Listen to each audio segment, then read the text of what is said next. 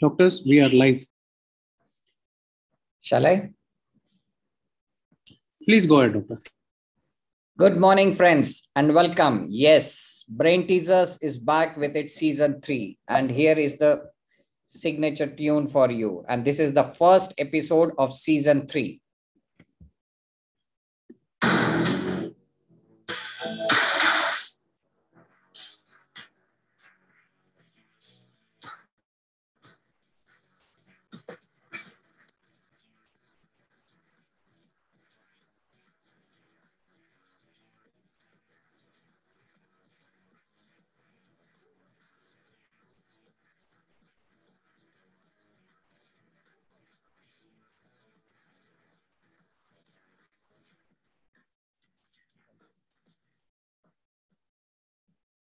Yes, friends. So, welcome and very good morning to one and all. Yes, of course, Brain Teaser is back with its season three, and that too on such an auspicious day of Teachers' Day. Let me introduce to the new participants and viewers to the concept of Brain Teasers. Brain Teaser is an edutainment initiative which was introduced two years back by Sarakshi Netrale and last year, it became a live online quiz conducted once a month on a web based platform. Also, it's no longer just a quiz, but much more.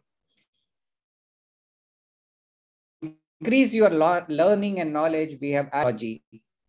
And to break the mundane, we have sections like ophthalmic humor, shairis from our own ophthalmic breathings. Brain Teaser also had the privilege to conduct quiz along with national uh, societies like Delhi Ophthalmological Society, Ocular Trauma Society of India, and Bombay Ophthalmic Association. The All India Postgraduate Quiz, which was conducted first ever in our country on our platform, was a lookout for a wizard PG of the country. And believe it, more than 125 teams were selected out of 350 postgraduate institutes for the zonals and which uh, we had then finals, semi-finals, and finals. And this All India PG quiz just got concluded in the mid-June. Well, friends, today is the Teachers' Day. Teachers' Day is celebrated annually on September 5th to mark the birth anniversary of Dr. Sarvepalli Radhakrishnan, the first vice president and the second president and a philosopher. His contribution to shaping India's education is immense. I read somewhere teaching is not just a job, it's a calling too. Teachers are holy angels leading their flocks or the students from the dark. So today, all of us stand tall in our respective places because of our gurus and teacher. My sincere pranam to all the gurus who have brought me to this level. Today, I have two prolific ophthalmologists and avid quiz masters as our co-host. Dr. Uma Kulkarni, she is a director, professor of ophthalmology at Yenepoya Medical College, Mangalore. And another equally uh, avid quiz master is Dr. Anurag Mishra, who is a director of Radha Raman Hospital at Cuttack. Yes, friends, we are available on Facebook and YouTube where we can retrieve even the previous uh, programs which we have conducted. Of course, nothing is possible without generous financial support of trade partners. This season, we are lucky to have Microvision as our new trade partners. Team Brain Teasers is indebted to Microvision, and my special sincere thanks to Mr. Ashokan, who is Executive Vice President of my, uh, Microvision, and Mr. Navneet, who is always a Mr. Yes Man. Sharing the mantle today, we have Dr. Shilpi as my co-host. Request now Dr. Shilpi to familiarize the participants with the rules of the game.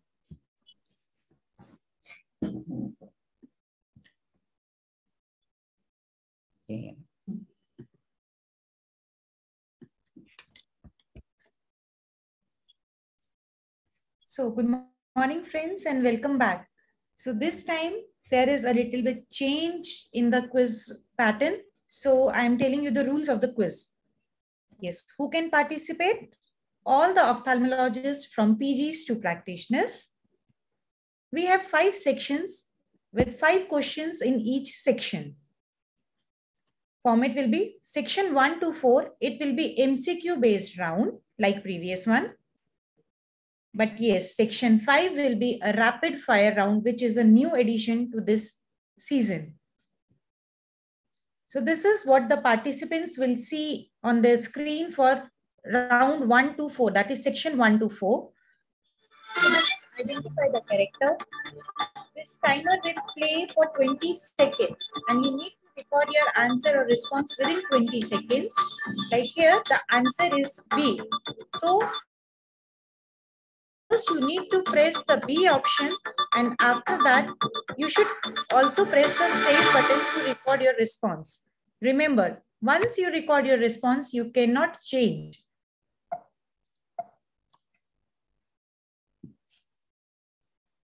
So assessment for section 1 to 4 will be, it will be correct response and the one who answers the fastest, that is fastest finger first. For the fifth round, that is the rapid fire round, the section toppers of all the four sections will automatically qualify for the fifth round. And besides that, there will be three more contestants who will play the rapid fire round and it will depend upon the cumulative performance of all the four sections.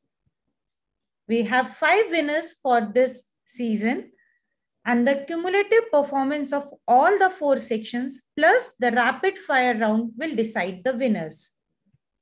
If there is a tiebreaker for a pose for a uh, for any prize, the three questions will be asked and the contestants with the maximum correct answer will qualify for the respective prize. Finally, the decision of the host and the judges will be the final. So what are the prizes? In ascending order, the 1500 rupees, 2000, 2500, the runner-up will get 4000 and the winner will carry away 5000 rupees gift voucher. So attention, the section toppers and the three cumulative performers will be invited to come live for the rapid fire round. They will be sent a Zoom link so that they can play live. So toppers, keep your registered mobile on and you need to log in as soon you get the call. So now I invite Dr. Anurag Mishra, sir. He is a avid quiz master and is a director of Radha Raman Hospital, Cuttack. He has done his two long-term fellowships in IOL and anterior segment and pediatric ophthalmology and strabismus from AEH Madurai. He is an invited faculty for various society meetings. He has performed more than 30 live surgeries. So hand over to Anurag Mishra, sir, for the further proceedings.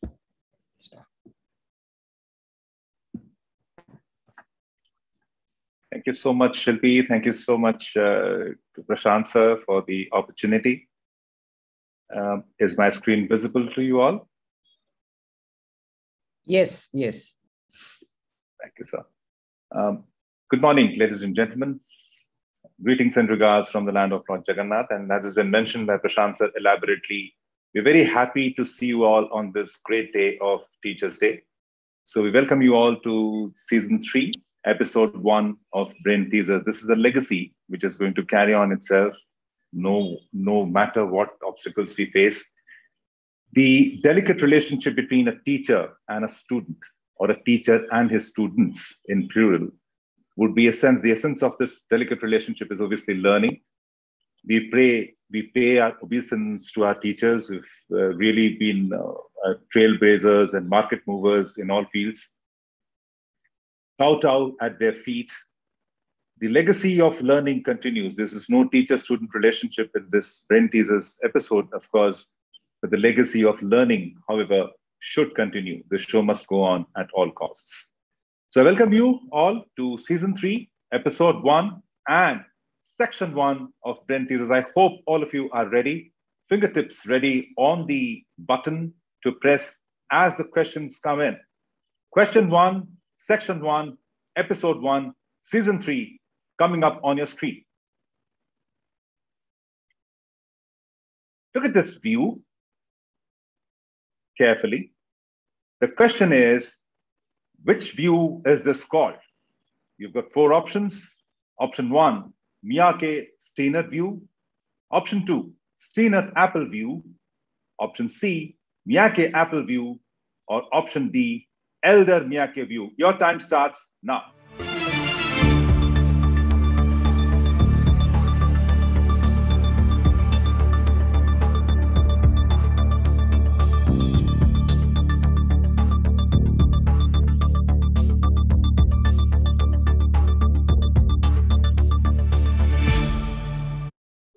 Time's up. I'm sure most of you would have got that right, but don't really make yourselves happy by thinking that you started off with an easy peasy question. There are more coming up from my co-host in particular. So the right answer to this question would be the Miyake Apple view. This is a view that is taken from the posterior aspect of the eye, and this is how the eye is prepared. The eye is kept on the table, and the videography machine is, is kept posterior to it, and it's used, this view is used to study the IOL behavior of cataract surgery by looking at it from the posterior aspect behind the iris inside the capsular bag. So that ends question number one. Let's go to question number two. Question number two is, this is the confocal microscopy of the cornea of a patient. You have the histopathological picture stained with Congo red, and you also have the HP picture stained with apple green birefringence. You must have known what condition is this, but that's not the question. The question is, which of the following is not a treatment option for this condition? Option A, DALK. Option B, DSEK. Option C, PTK. Or option D, PK. And your time starts now.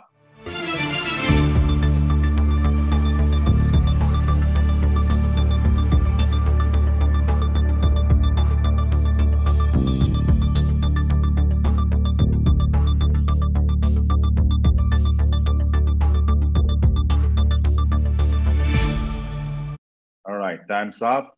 Let's look at the right option. The right option is option B, DSEK. This obviously, uh, I think most of you would have got that right as far as the diagnosis is concerned. This is a lattice dystrophy of the cornea, shows typical characteristic picture of amyloid deposits in the subbasement membrane and superficial stroma plane. And that's the very reason why DSEK is not a treatment option. It involves the anterior stroma, epithelium, and basement membrane. DALK and PK are effective treatments, but recurrences are likely. So the patient should be explained that recurrences can happen in this condition. PTK is effective in delaying the specific strategy while we wait for uh, specific strategies like PK or DALK to be taken up. And DSEK, obviously, since it involves the deep anterior lamella, deep uh, corneal stroma, and the endothelium, is not a treatment option for lattice corneal dystrophy. That, that uh, brings us an end to question number two. Question number three of episode one, section one, coming up on your screen now. Look at this picture and tell us what's this cataract called? You have four options. Option A, is it called cataracta centralis pulverulenta? B, cataracta caerulea. C, is it called cataracta sutura alba punctata? Or option D, is it called cataracta pulverulenta sutura centralica? Your time starts now.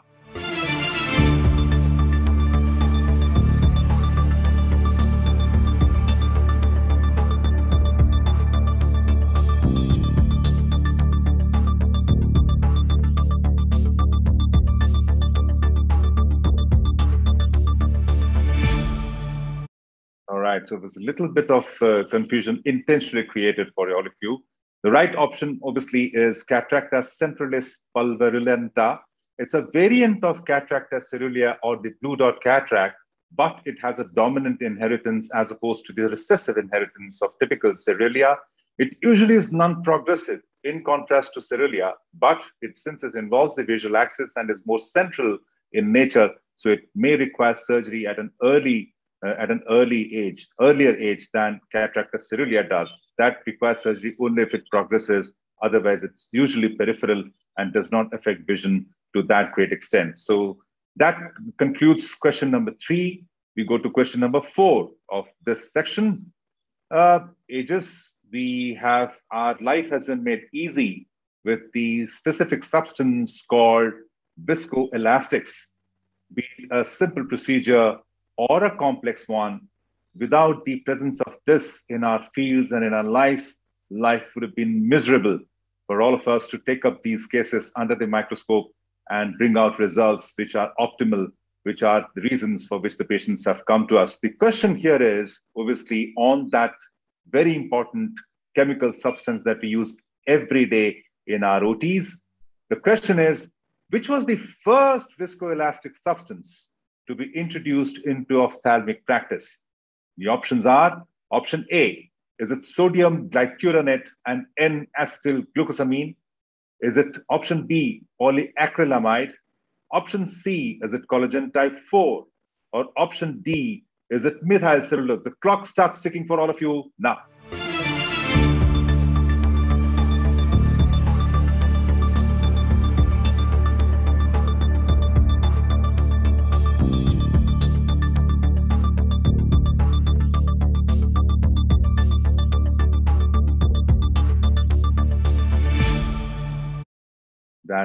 Brings us to the end of the 20 seconds time interval. And the correct option out of these four is A, sodium glucuronate and N-acetyl glucosamine. The polysaccharide of these two molecules combined is otherwise known as hyaluronic acid, and that was the first viscoelastic substance which was introduced into ophthalmic practice, the space-forming, high viscous, high molecular weight viscoelastic. It was made available, uh, available commercially as Healon. It was with uh, Pfizer at that moment, and it was made from rooster comb. Before being used in cataract surgery, this part is interesting. This was actually not devised to be used as a viscoelastic substance for cataract surgery. When it was introduced by the company, their R&D has actually proposed it to be used as a vitreous substitute. So hyaluronic acid or sodium hyaluronate is the first viscoelastic substance that came into practice, came into ophthalmic practice. Question number five, which of the following alkali is most destructive when causes a chemical injury to the cornea? When causes a chemical injury to the cornea, which of the following alkali is most destructive? The four options that are there for you are A, lye, B, potassium hydroxide, C, ammonia, or is it D, calcium hydroxide. Big Ben start sticking now.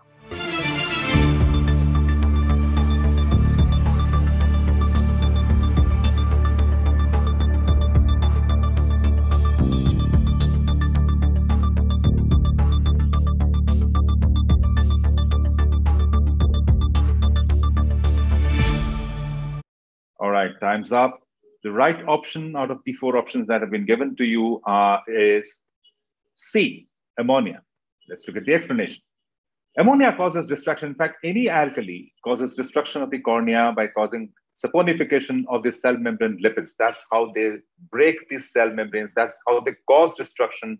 That's how they penetrate really, really fast into the substance. The inflammation that's caused due to the exposure also triggers a chain of chemical events which just add insult to injury. Ammonia may reach the anterior chamber within 15 seconds. Now, that is fast if the exposure is heavy, of course. And ammonia is also pretty commonly found in our household uses. So be careful about any patient that's been exposed heavily to the effects of ammonia. Copious irrigation has to be done, obviously, but along with copious irrigation, you have to keep a check on the pH of the ocular surface every 10 to 15 minutes to ensure that the pH has actually travel to the acidic or more neutral um, side to neutralize the effect of the alkali exposure. So that brings us to the end of section one, but hang on, we are not finished with you all. We're just waiting for the marks to be computed and announce the section winner, while as we will play some trivia questions for all of you. So relax, you've all answered your questions, that were important. Now answer some questions from the kaleidoscope. The kaleidoscope would be a quiz, a short section of a few questions after round one, three, and four, wherein the questions would be essentially on the eyes, but not concerning ophthalmology. So question number one out of the two trivias that we would be having at the end of this round is here on your screen. Listen to um, the song. I'm sorry, don't listen to the song. Just watch it. The clip has been muted. Don't try to raise the volume of your systems because the clip has been muted. And what you're witnessing is uh, social distancing personified.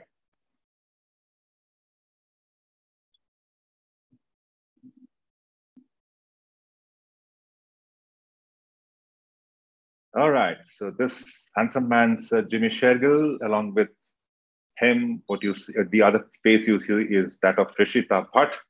The question here is, read me out the lyrics of the song. What's the lyrics of the song? आँखें हैं या तरबूज के दाने आँखें भी होती हैं दिल की ज़ुबान नयन है तोरे atom bomb is it option D नज़र में उसकी गजब की बदबू Do we have a time slot for this? Yes, we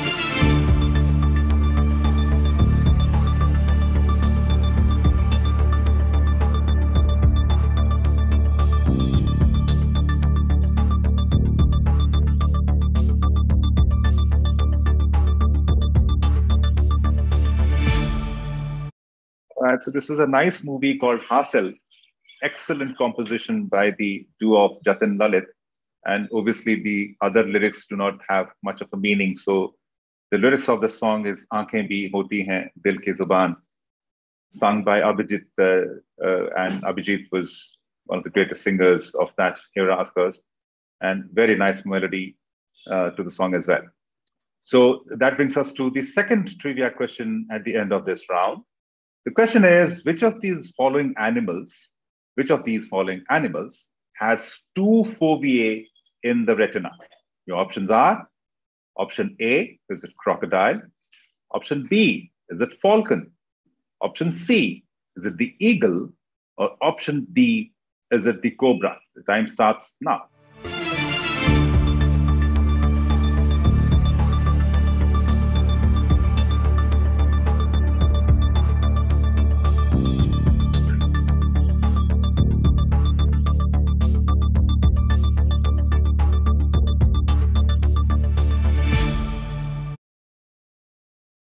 So the right answer to this is the falcon.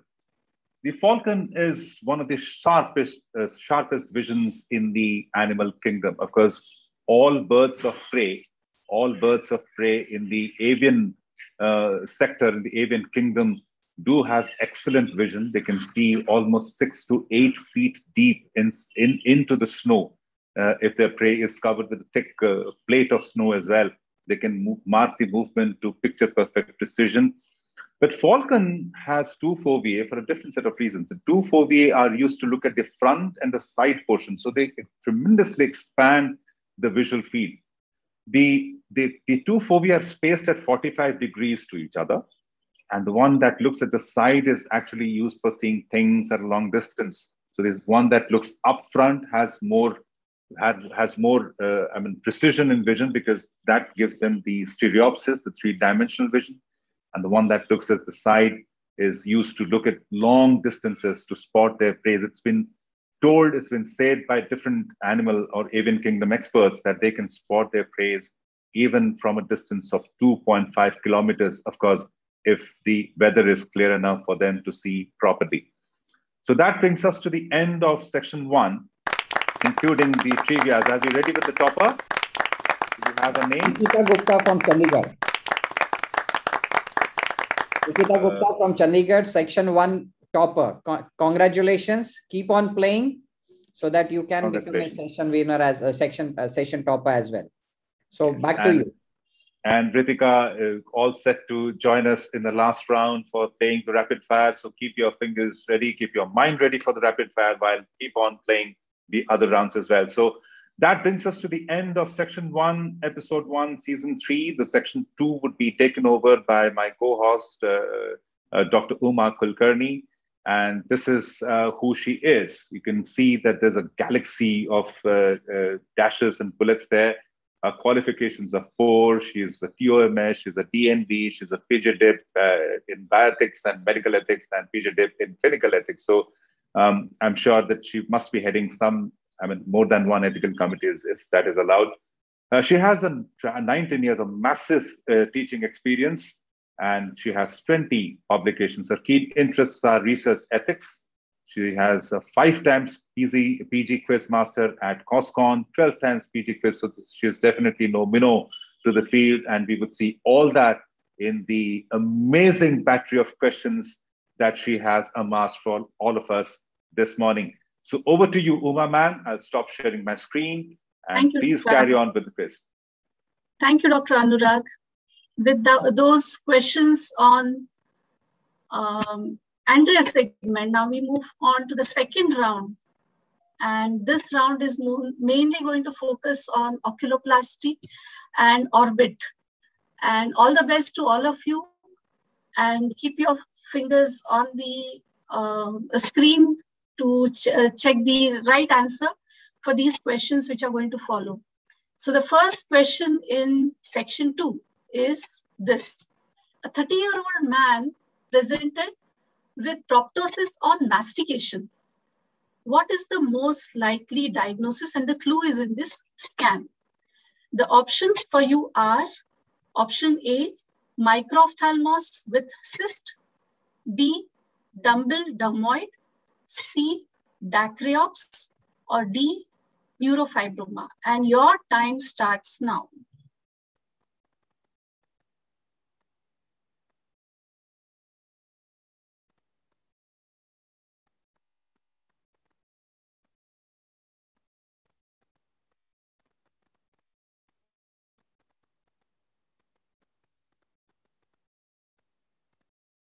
And time's up. And I'm sure you've got the right answer there. And the right answer for this question is dumbbell dermoid. You can see this dermoid across the bone, across the suture over here.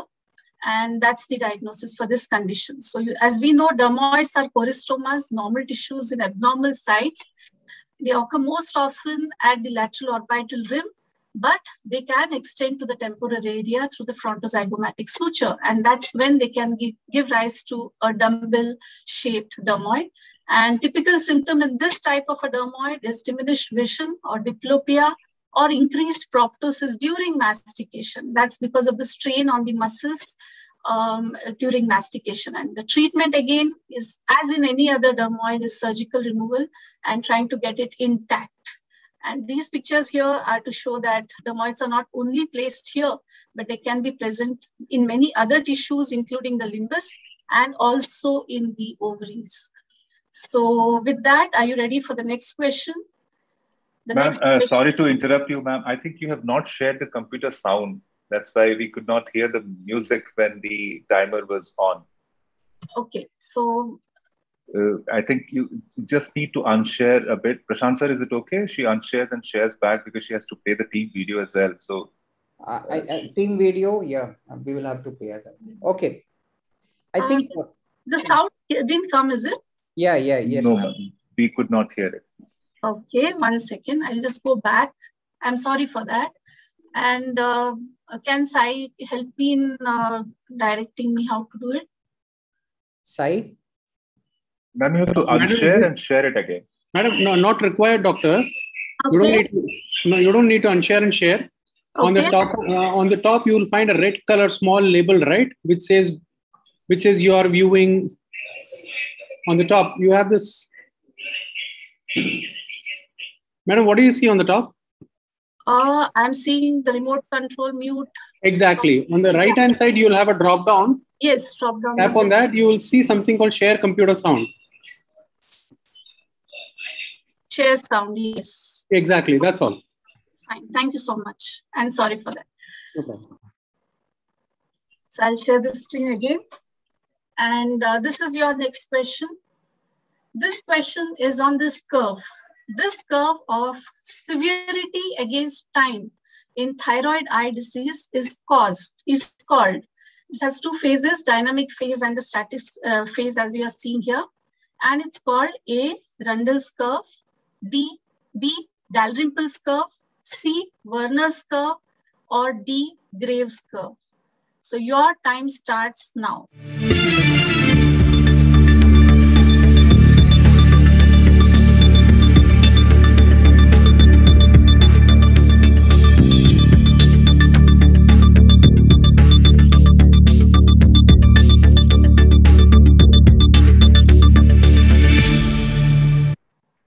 Sure you've got this one also. And the answer is Rundle's curve. So this describes how uh, the progression of thyroid eye disease occurs. Most of the time, it is self-limiting, as we know, ranging uh, in time duration between one and three years, and it's more prolonged in smokers. During the active stage, you see all the uh, inflammatory signs, whereas in the quiescent stage, burnout stage, you may see proptosis and other signs, but there's no active inflammatory signs. There can be reactivation in 5 to 10% of cases over lifetime, and these are the, so many signs that I've put together Dalrymple's, Mobius, Graefe's, G4, and so many signs that we know and the severity scoring systems are the VISA and the clinical activity scores, which we are well versed with. So with that, we go to the next question. And let's see what's the next question. Third question. It is on this. Look at this image of this boy carefully. This is a type, the type of epicanthus seen in blepharophimosis syndrome is, this is a case of blepharophimosis syndrome and the child has epicanthus. Name the type of epicanthus. Is it A, Epicanthus supraciliaris? Or is it B, Epicanthus tarsalis? Or is it C, Epicanthus palpebralis? Or D, Epicanthus inversus? Your time starts now.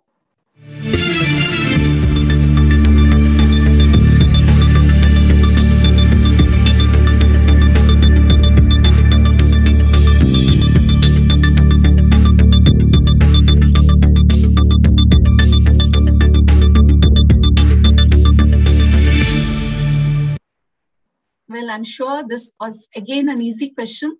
And the answer is Epicanthus inversus. So uh, we have different types of epicanthus. Epicanthus is basically a semilunar fold of conjunctiva at the medial canthus, usually vertically oriented. It's a very common eyelid abnormality associated with blepharophimosis and many other syndromes like Down syndrome or congenital ptosis or some others. Sometimes it can be isolated. So it gives rise to an appearance of esotropia. So we classify one of the causes to rule out in uh, pseudoesotropia.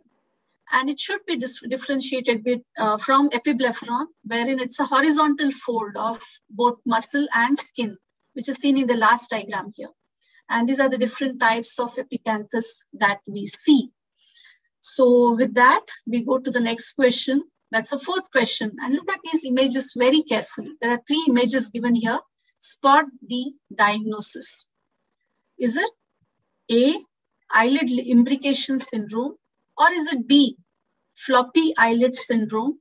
Or is it C, dermatochalasis? Or is it D, blepharochalasis? And your time starts now.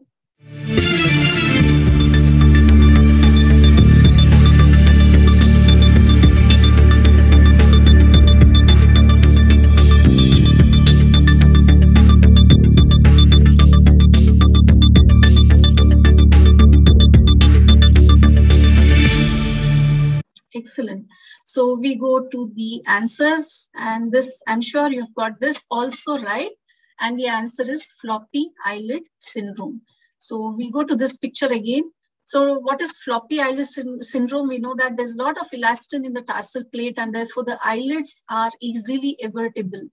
And the lids are very flaccid and you can, you can actually fold them like this. And there's eyelash ptosis and there's loss of parallelism of the eyelashes.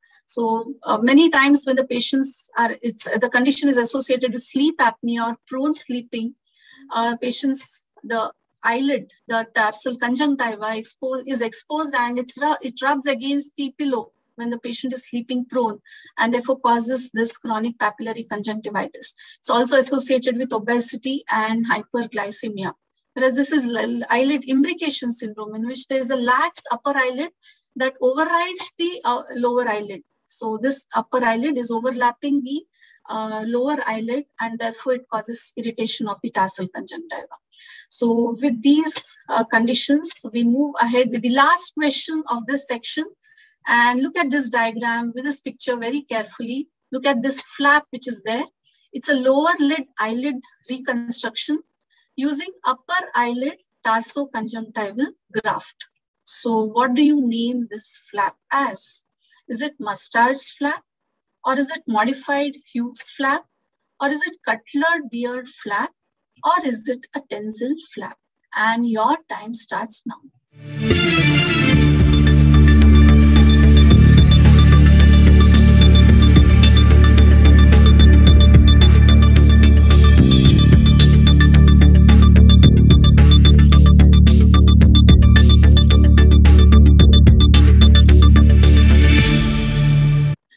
Up.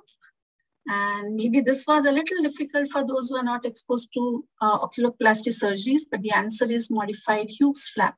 So this is the modified Hughes flap where there's eyelid sharing procedure for lower eyelid. So when the lower eyelid is lost, the upper tarsoconjunctival tissue is taken from the upper eyelid and it gives rise to that flap which you saw in that picture, which is retained for some time till it gets vascularized and then it is separated. So that was modified Hughes flap. In contrast, cutler beard is the one where upper eyelid is reconstructed using lower eyelid. So this is cutler beard. This is Tenzel flap, which is a tarsoconjunctival rotation flap.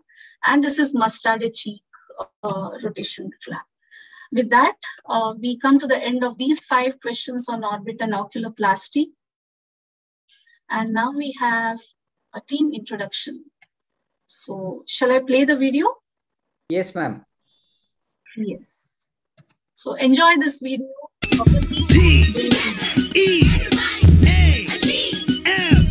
When I say team, you say work. Team, team, team, team. Hand in hand, when we work together, it's teamwork, and that makes things better. When I help you and you help me, we're like players on the same team. Working together, everybody wins, and teamwork helps you make new friends. The work goes faster when we sing songs, so come on, team, and sing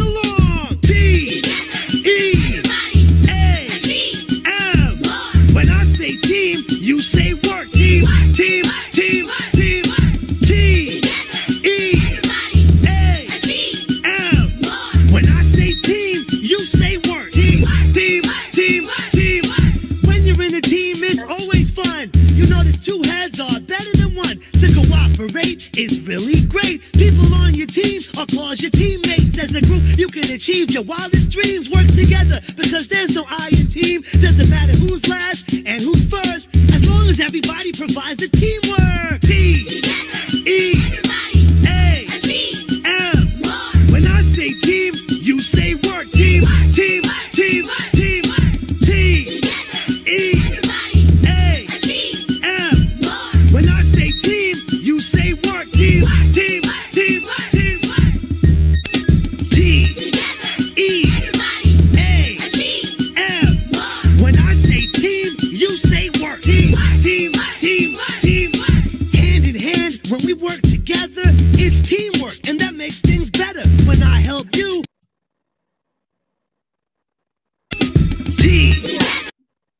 That's a wonderful video of the teamwork, and I'm sure all of them are contributing. But I think the most, or you can say, most significant contribution is by Dr. Prashanta and Dr. Shilpi, and we must all be thankful to them for this. And uh, with that, I think I hand over to uh, Dr. Anurag for the next round. Yeah, I can. Uh, it's my. Uh, I would announce the section two winner, uh, section two topper. It is Dr. Sadanand Shetty from Bangalore. Congratulations, Dr. Shetty. You should log in on the Zoom platform at the conclusion of uh, this particular four rounds, so that we will be playing rapid fire round uh, with you. Congratulations once more. Over to you, Anurag. Thank you so much, sir. Thank you, Uma Man, uh, for uh, the uh, wonderful round that we've just had. Excellent questions, and congratulations to the section topper. Nice tune in the end to finish things off. Uh, off really, I almost got up from my chair and started dancing to the tune of that wonderful tune. Very nice selection. I'm proud of our team. We all are proud of the team, and let's put this to work even further. Righto, section three, session session um, section three, season three, episode one of Brain uh, teasers coming up right over. I'm so sorry. I should have advanced the slides along with uh, Uma ma'am. I didn't do that. Just hang on a second, please.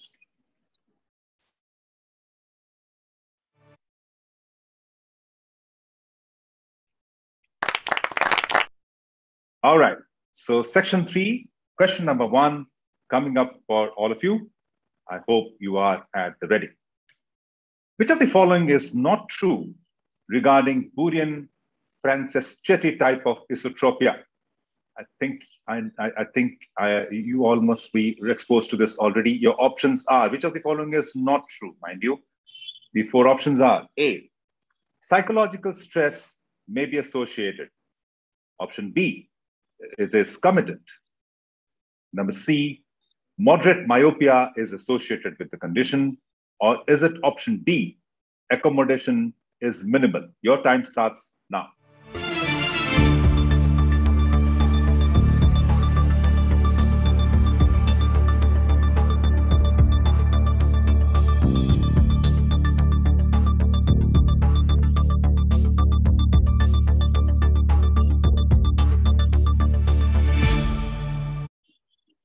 so Burian Franceschetti type of esotropia is a non-accommodative variety, as we all know. So the accommodation has to be minimal. It is a comitant type of strabismus. There is an element of psychological stress that may be associated along with many other factors. So the right option is moderate, uh, uh option C, moderate myopia is associated. On the contrary, it is the moderate hyperopia that is associated with uh, this condition. At times, we might see this and might confuse this with an accommodative type of esotropia, but cycloplegia or correction of the hyper, hyperopia does not take it away. So this is a type 2 non-accommodative. There are three types, as we know. Type 1 and type 3. Type 3 is Bielschowsky. Type 1 is Swan. All of these are seen in the uh, early childhood, and all of them are essentially non-accommodative comitant esotropias, and there's no apparent cause that can be singled out. So that's question number one for you and its answer and its explanations. Coming up, question number two on your screen now. Paradoxical pupil is seen in option A, congenital achromatopsia, option B, congenital nystagmus, option C, congenital stationary night blindness, or is it option D, all of the above? The clock starts ticking now.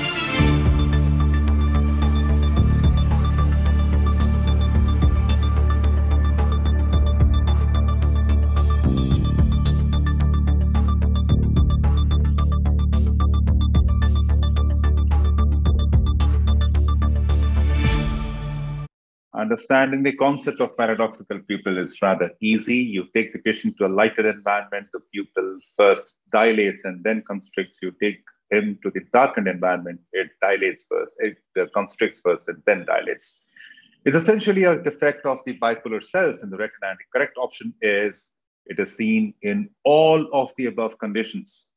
So it is, uh, uh it tells you what it means and is associated with disorder of the retinal bipolar cells. It's seen in all of these conditions and a few other conditions as well, like the Leber's congenital amaurosis. Of course, Leber's congenital amaurosis has got certain clinching uh, presentations from the patients, like the ocular digital reflex, and you have very characteristic appearance of the retina, and the optic atrophy sets in rapidly. Uh, but dominant optic atrophy, LCA, and all these uh, potentially or relatively trivial conditions also lead to a paradoxical pupil to be elicited in the eye. So that concludes question number two. Coming up is question number three. Which of the following is characteristic of an entity called Duane's retraction syndrome type 4? Your options are option A, abduction limitation, option B, synergistic divergence, option C, face turn to the affected side, or D, small angle esotropia. Your time starts now.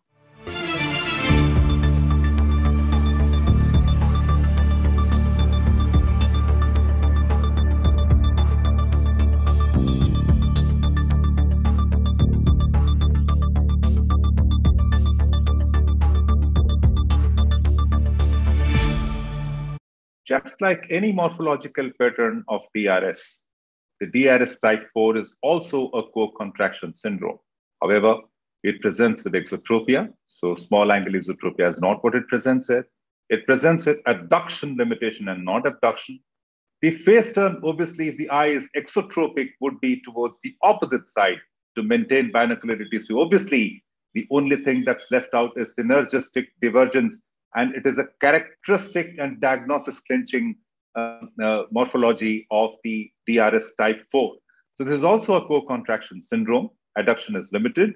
Synergistic divergence is essentially when the eye starts to look at the opposite side, the contralateral side, there occurs a synergistic diversion because the innervation flows to lateral rectus of both sides from the oculomotor nerve. Very interesting.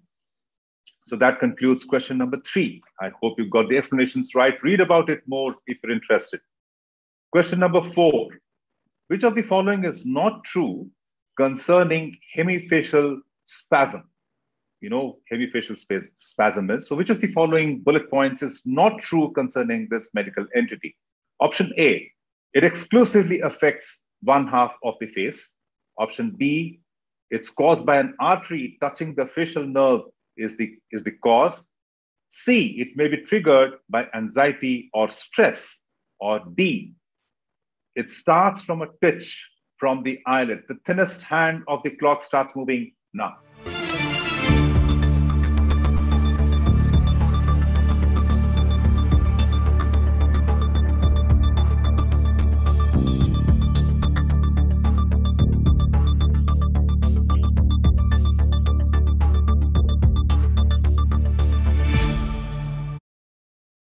So uh, hemifacial spasm, as we know, is a is a forceful contraction of the facial muscles. It's very disturbing to the patient. It's usually caused by an artery which touches the facial nerve and causes its contraction violently.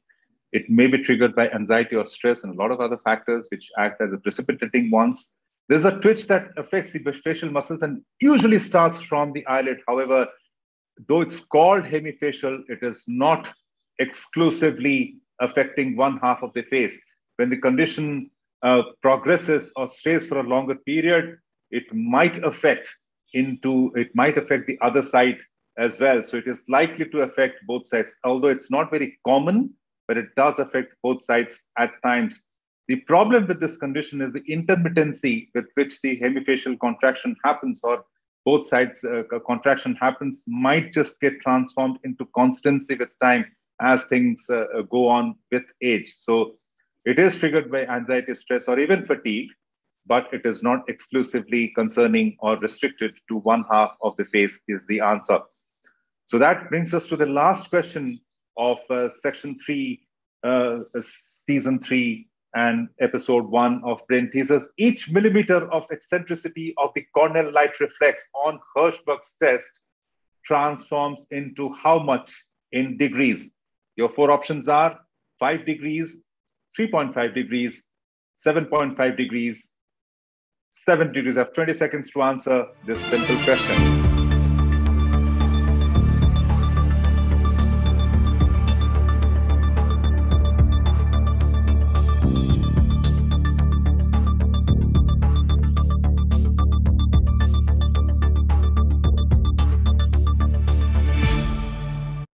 Strabismologists usually do not measure deviations in form in the form of degrees. That's not the way of expressing things. But when we are taught about this thing primarily, we are always told that if the Hirschberg's reflex falls right at the dot, the, dot uh, the center of the cornea, it is zero. When it falls on the limbus, it is 45. And if it's in between the limbus and the center of the cornea, it is 30 degrees. And you have six millimeters as the radius of the cornea. So if you divide 45 degrees by 6, what you get is 7.5 degrees. So each millimeter's eccentricity of the corneal light reflex on Hirschberg's test transforms into 7.5 degrees of deviation. So that concludes section three in form in the form of brain teasers ophthalmic quiz. Now we go to this set of trivia as the marks would be computed and we would have our uh, section winner. So first of these questions coming up your way now. What is the ophthalmic condition that Mark Zuckerberg is rumored to have? Atypical RP? Is it mild anisometropic amblyopia? Red-green color blindness? Or does he have recurrent stye? Your time starts now.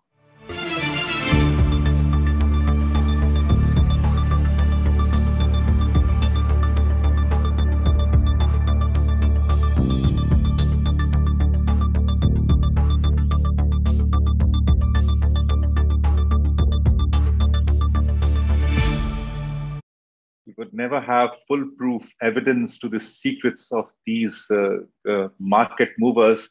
Of course, that is the reason why he has been rumored to have a red green color blindness. And it has been speculated because everything you see on Facebook is blue on white or white on blue. So keep saying that blue is the richest of the colors. It might not be anything, but we have reasons to believe that he has, has said this so many times that he perhaps has a red green color blindness since blue is the only color out of the primary colors that he appreciates well. Right. So the uh, next question in the trivia, trivia section is, which of the following animals has the best color vision? I repeat, which of the following animals has the best color vision? And your options are option A, the Russell's viper, option B, are the wild boars which, which have the best color vision in the animal kingdom? Is it the mantis shrimp? Or option D, is it the giant squid? Your time starts now.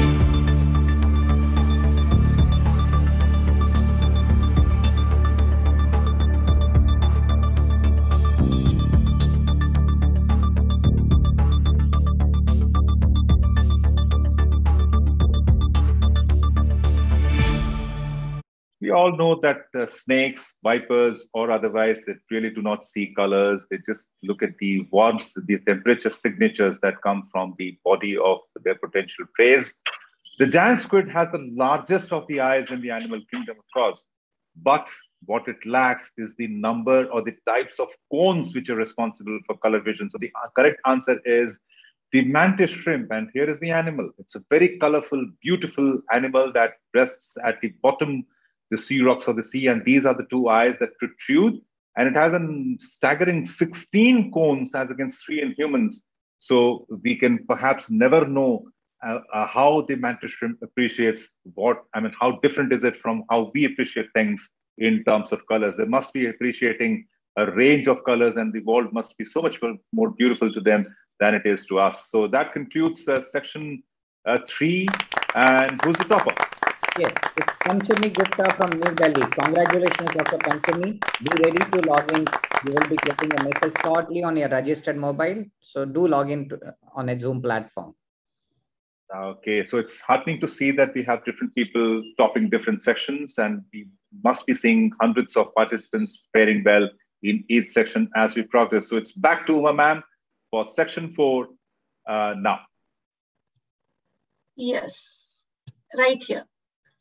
So thank you very much for that wonderful round. And we now go to the fourth round. And the fourth round is going to concentrate on the posterior segment.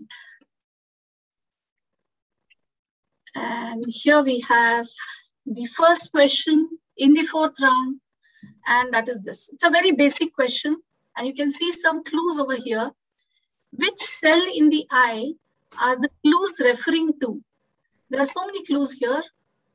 GABA, interneuron, internuclear layer, uh, sorry, inner nuclear layer, no axis, starburst, only dendrites. So the answers, options are A, amacrine cells, B, bipolar cells, C, horizontal cells, or D, Muller's cells. So which cell in the eye are the clues referring to? Your time starts now.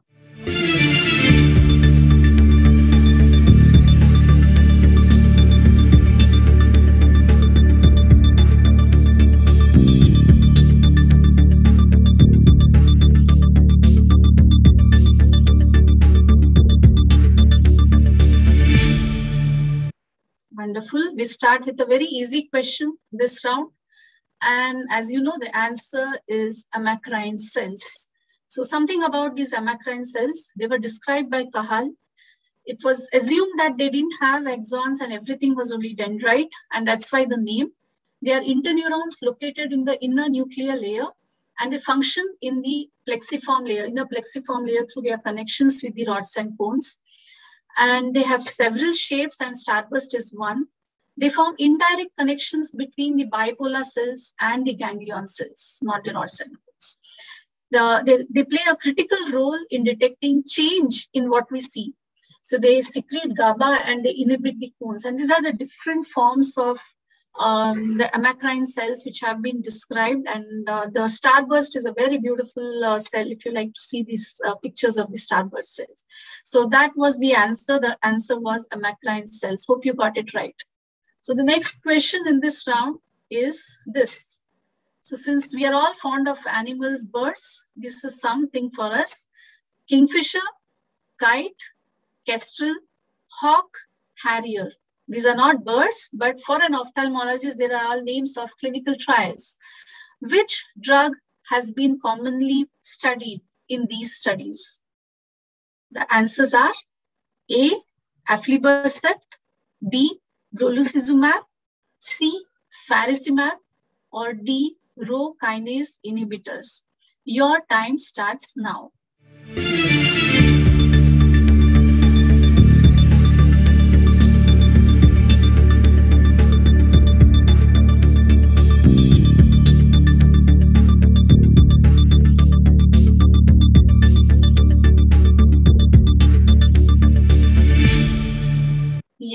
And there we are. And the answer for this question is brolucizumab. And let's try to see a little more about this. It's a anti-VEGF agent. It's a humanized single-chain antibody fragment. Compared to the other drugs, that is aflibercept and ranibizumab, it's a very small molecule. And therefore, compared to them, there is an enhanced tissue penetration, clearance, and drug deliveries. So the, the birds that we were talking of were harrier and hawk. These are studies for wet ARMD. These are phase three clinical trials with this drug, which showed a very positive response, and therefore it has been approved by the FDA for this, for this indication. Whereas kite, kestrel, and kingfisher are studies of this drug for diabetic retinopathy and diabetic macular edema. These are currently going on studies, phase three studies. The only risk factor that everyone is talking about with respect to this drug is the risk of occlusive vasculitis and blindness. So let's wait and see what this drug is going to give us. With that, we go to the next question, the third question, and the question is like this. This, are, this is a method of examination of the intraocular uh, structures about this method of intraocular endoscopic visualization, I give one clue there. Which of the following is true? The options are A, stereoscopic view, B, it has a wide field of view, C, it has an inbuilt magnifying lens system, or D, it is useful when media is hazy. Which of the following is true? Your time starts now.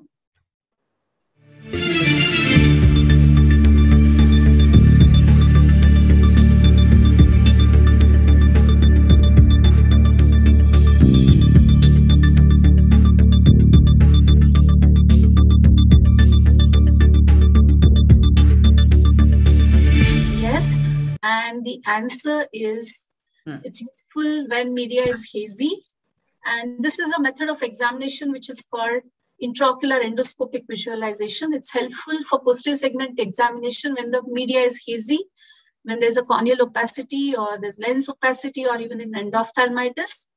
It has no stereoscopic view. It has a very restricted field of view, 30 to just 50 degrees. It has no inbuilt uh, magnification uh, system.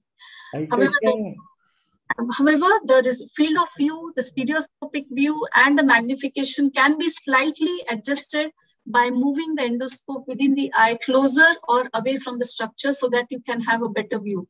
It's useful in visualizing structures which are not normally visible by the biome and just as just like the retroiridial structures or the retrolental structures or anterior retinal structures. So it's used for procedures like endocyclophotocoagulation and endoscopic vitrectomies, etc. And however, there are newer advances with 3D stereoscopic lenses incorporated along with this. So this is about intraocular endoscopic visualization. So we move on. I hope you got this right. We move on to the fourth question of this round and that and the question is here which of the following drugs tried in uh, chronic central serous retinopathy has specific anti-mineralocorticoid activity central serous retinopathy the options are a spironolactone b mifepristone c eplerenone or D, brinzolamide? The time starts now.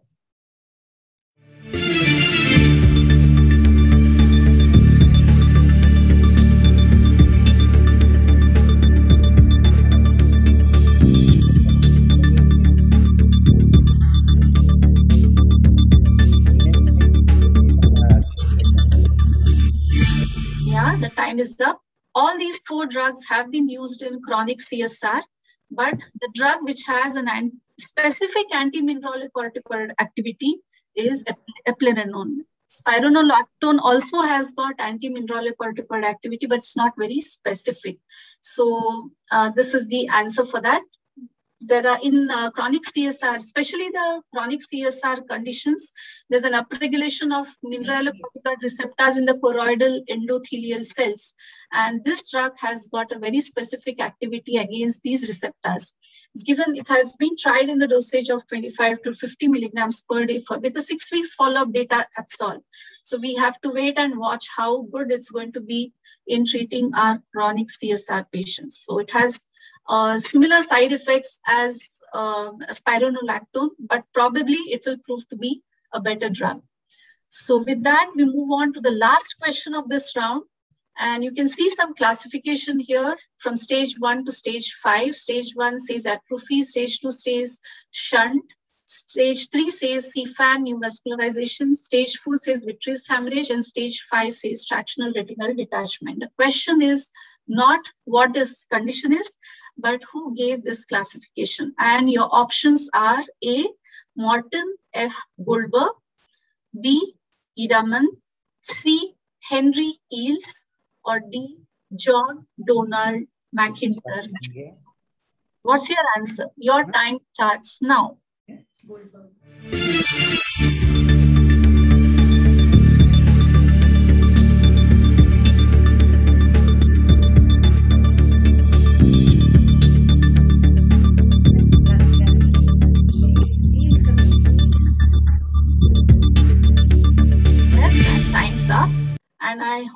you- we all got it right.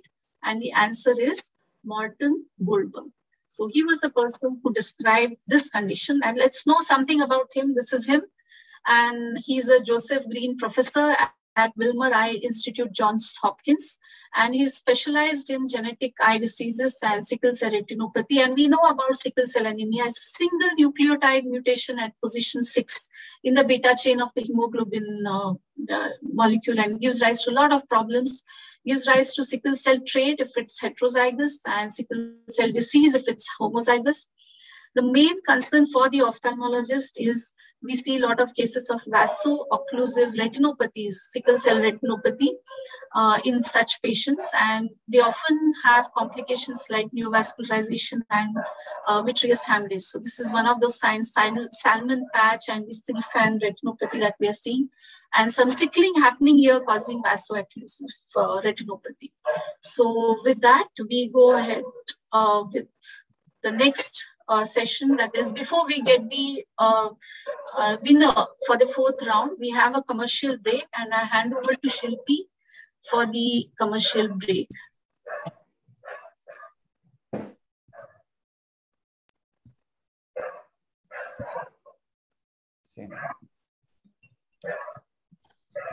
Thank you, Uma Madam. Uh, thank you for conducting the last part so well. Well, friends, nothing is possible in this world without a generous financial support.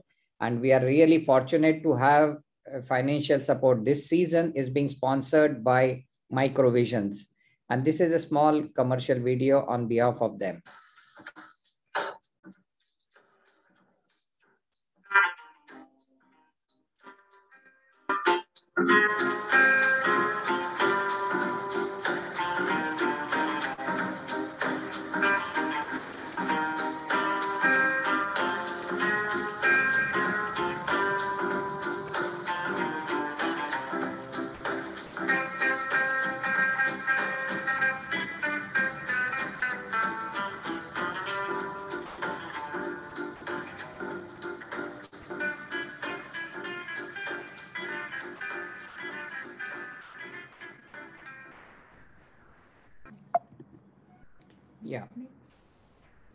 I think, uh, okay, one more. Eh?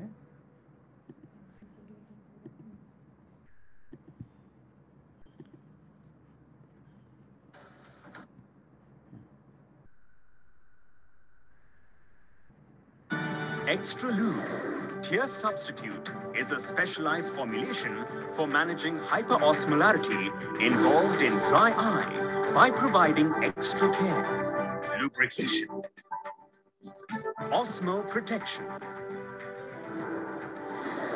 Extra Lube contains carboxymethyl cellulose 0.5%, glycerine, L-carnitine, erythritol. So friends, All the ingredients of Extra Lube provides lubrication and osmo protection. Extra Lube is the ideal solution for lubricating and protecting eyes with dry eyes.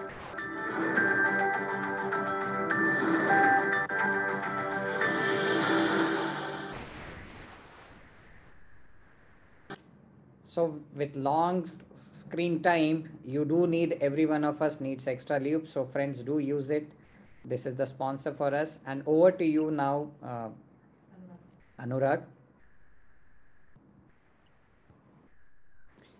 And uh, meanwhile, I will announce the section four winner. It is Dr. Venkat Subramaniam from Bangalore. Congratulations. You have topped the section four. So get ready to join us on the Zoom platform for, for playing the rapid fire round. Meanwhile, the trivias are being played. We are computing the results for overall uh, section top uh, session toppers, and we'll be coming interrupting in between the trivias. So be watchful. Anurag. and earful too while you grab your cup of coffee uh, may not be for the first time since the morning but i think all of you would have taken a break from your routine work and i think it's uh, going great guns for all of you this sunday morning on teachers day Uh, we have uh, a very diffuse presentation uh, of the uh, postgraduates or whoever they are ophthalmologists from across the country as the um, as the location services suggest us. So uh, eagerly waiting to meet all of you in a few moments from now while we play certain trivias and try to explore the kaleidoscope concerning the eyes and not of ophthalmology. Let's explore a little more into that while marks are being computed. The first question out of these uh, two or three questions we have for you before we get down to business again is here. Which of the following animals is more prone to cataract formation, as has been seen? Option A, dogs. Option B, cat. Option C, is it the elephant? Or is it option D, the horse? Your time starts now.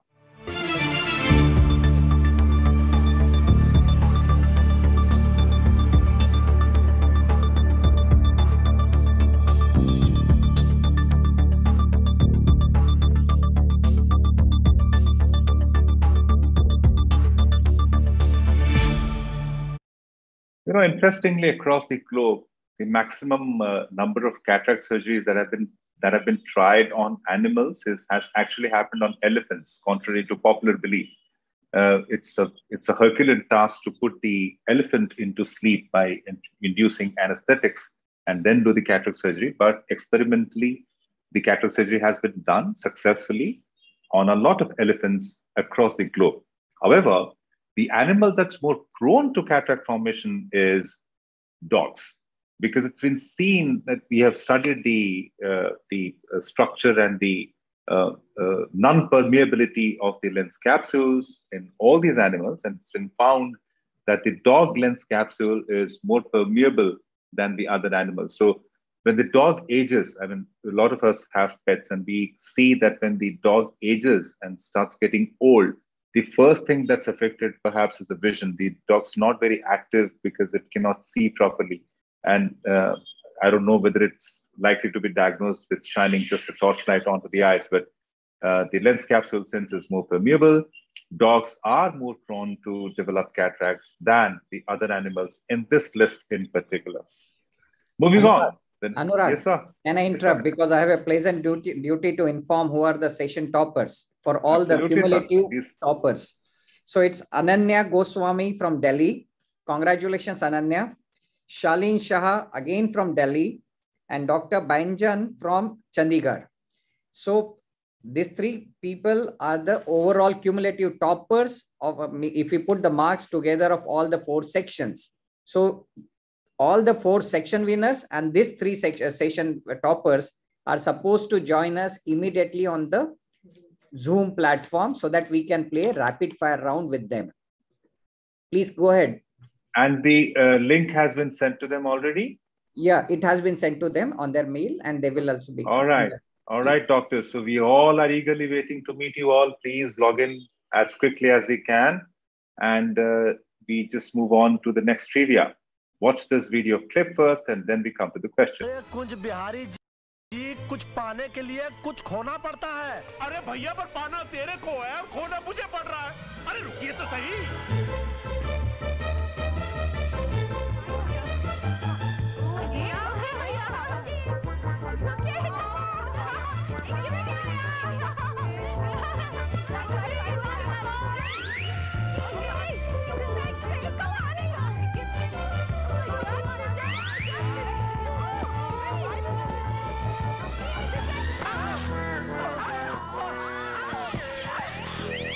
कौन था अंधे हो क्या अंधा ही तो हूँ इसलिए तो दर बदर की ठोकरें खा रहा हूँ ओह आई एम सॉरी मगर आप इस तरह भाग क्यों रहे हैं इसलिए इसलिए कि वो आदमी मुझसे भीख मंगवाना चाहता है वो कौन वो आदमी कहाँ वो All right, so this is a very hilarious clip from the movie called Hasina Maan Jayegi. David Dhawan, Govinda, and Karishma Kapoor trio, and it was sometime that they run the show, ran the show, and it was their era. The question is, Govinda was obviously feigning to be blind, but he was holding a stick. So, what is the blind man's stick called? You have four options. Option A: Is it called the Hoover cane? Is it called the Douglas cane? Is it called the Elder cane? or is the blind man's cane called the max cane? Your time starts now.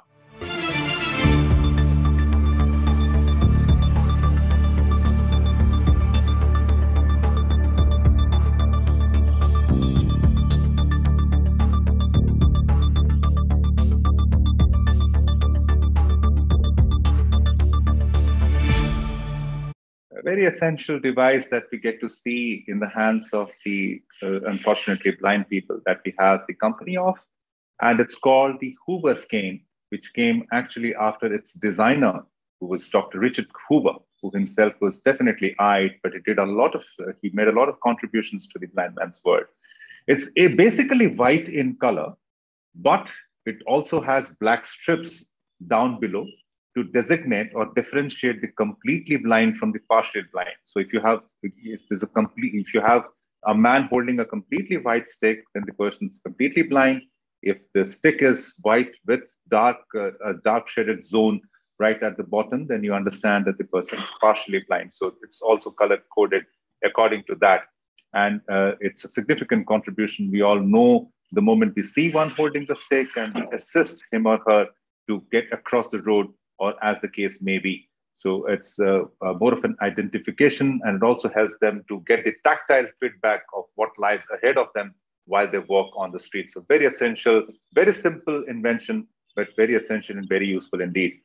That brings us to the next question on the trivia section. Which of the following famous personalities is not, is not an ophthalmologist? Your options are option A, Socrates, option B, Robin Cook, option, option C, Duke Elder, or option D, Wolfgang Haigis. Your time starts now.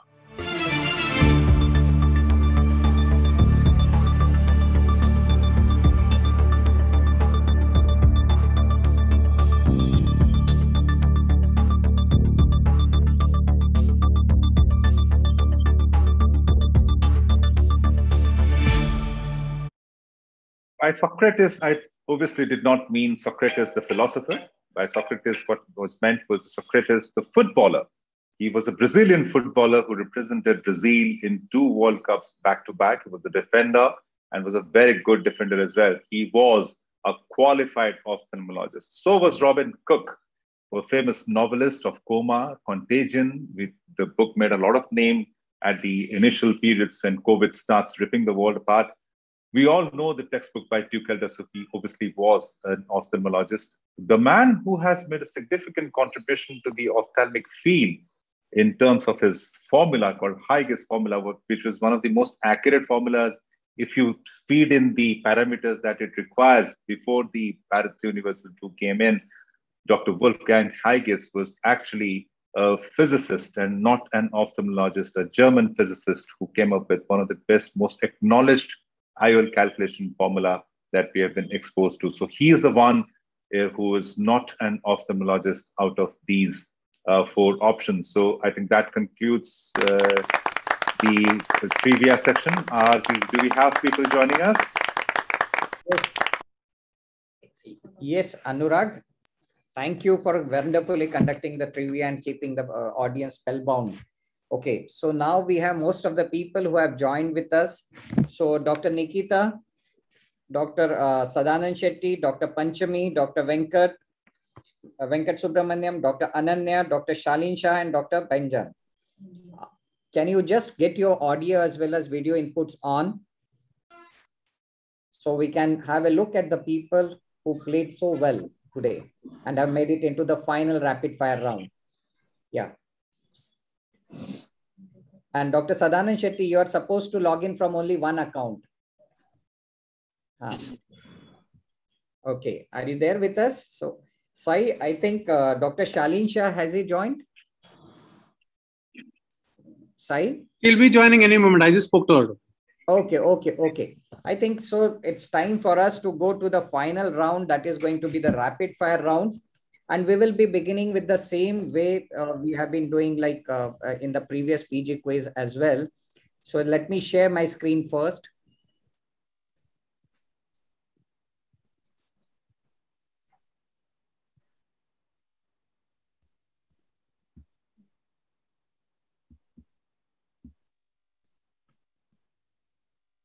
Yeah. Sorry.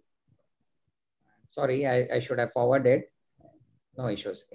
Give me a time. Okay. So friends, this lucky pe five, seven people, remember, we have five prizes to win. We are already, Dr. Shilpi has briefed you about the prizes. So we will be playing with first section winner and the first section winner the rapid fire uh, format is going to be like this. Every contestant gets 30 seconds and he has five questions maximum. He has to answer all the five questions within 30 seconds. If you delve upon any of the questions for a longer period of time, you will be exhausting on valuable 30 seconds, which are in all total you have. Remember, when you answer the questions, correct uh, response fetches plus 10 marks, while an incorrect response gives you minus 5. I hope everyone is, uh, I'm loudly clear for every one of you. Can you answer me? Yes, all yes, the yes, Okay, fine. So now first we'll be playing yes, with the section one winner. I would request all the other participants to just mute their audio as well as video. I would request only Nikita to get her audio as well as video input on. Are you ready with us, Nikita? Yes, sir. Okay. So you have 30 seconds. You have maximum of five questions. So be fast, but be accurate as well. Here starts your 30 seconds. Which study approved use of dexamethasone intravitreal implant for treatment of macular edema secondary to CRVO? Uh, Geneva. Correct. Central connective tissue that covers the non-myelinated fiber of optic disc on the visual vitreal side. Uh, pass. Okay. Ocular cicatricial pemphigoid in, is which type of hypersensitivity reaction? Uh, fourth. Wrong. Wrong. Last question. In distichiasis, eyelashes arise from dash glands. Moll.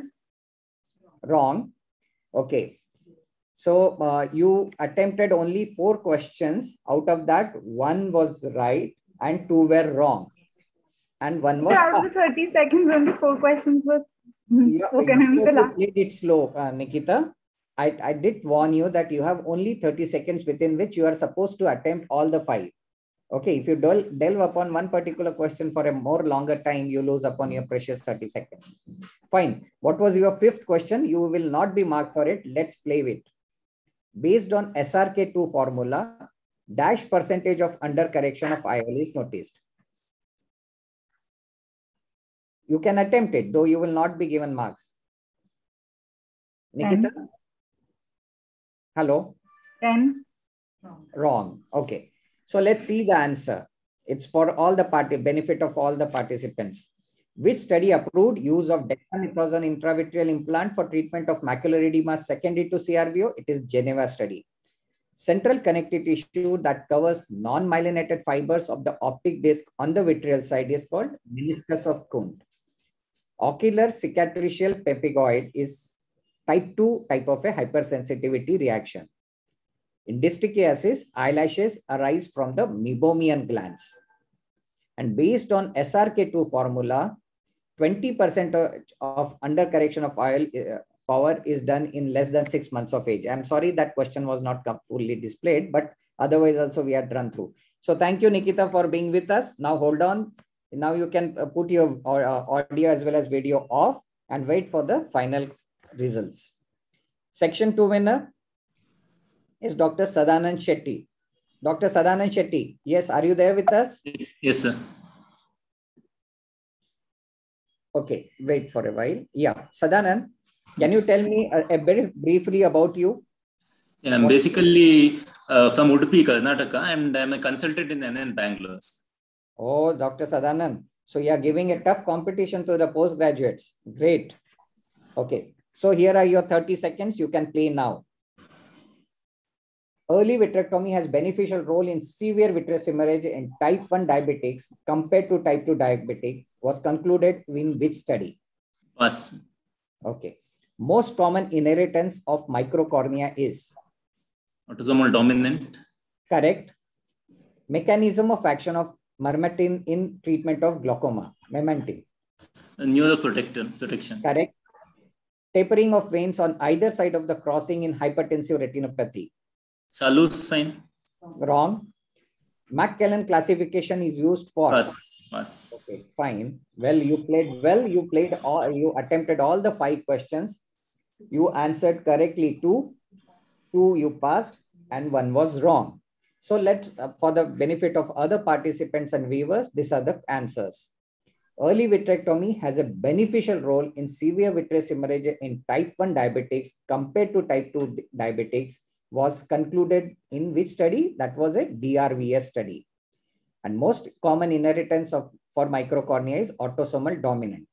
While mechanism of action of memantine in treatment of glaucoma is neuroprotective.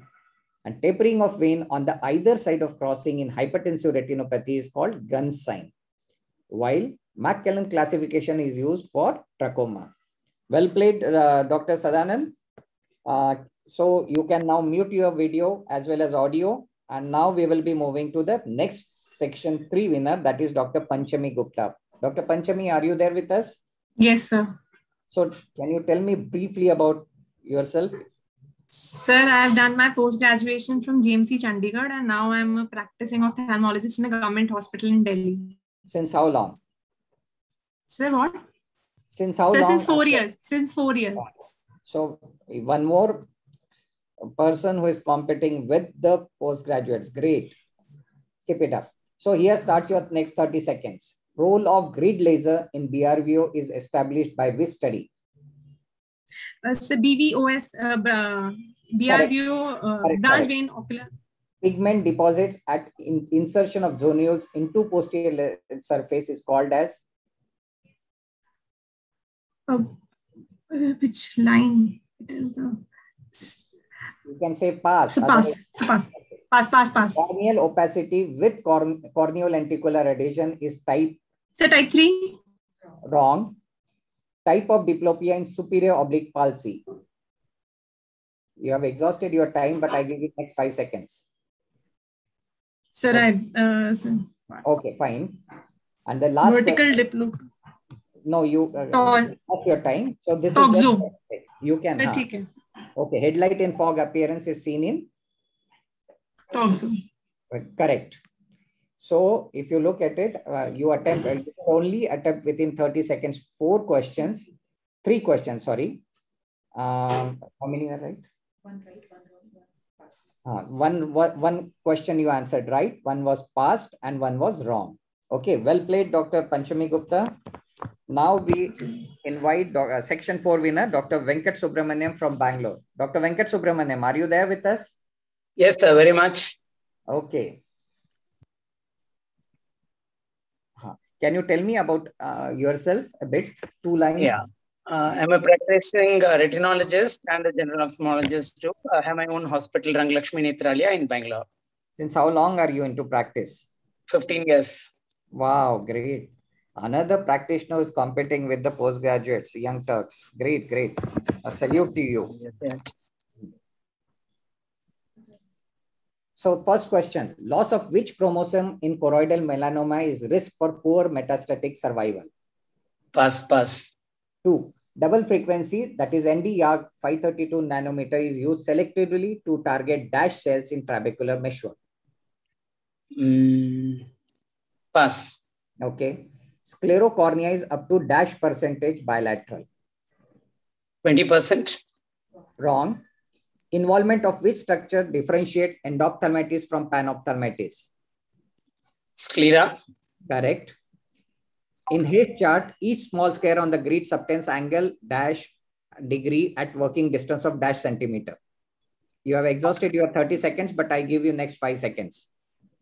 Uh, is it 30 degree at 5 at uh, 30 centimeters? Sorry, sorry, it's a wrong answer. So let me tell you, you all could attempt all the five questions within stipulated 30 seconds.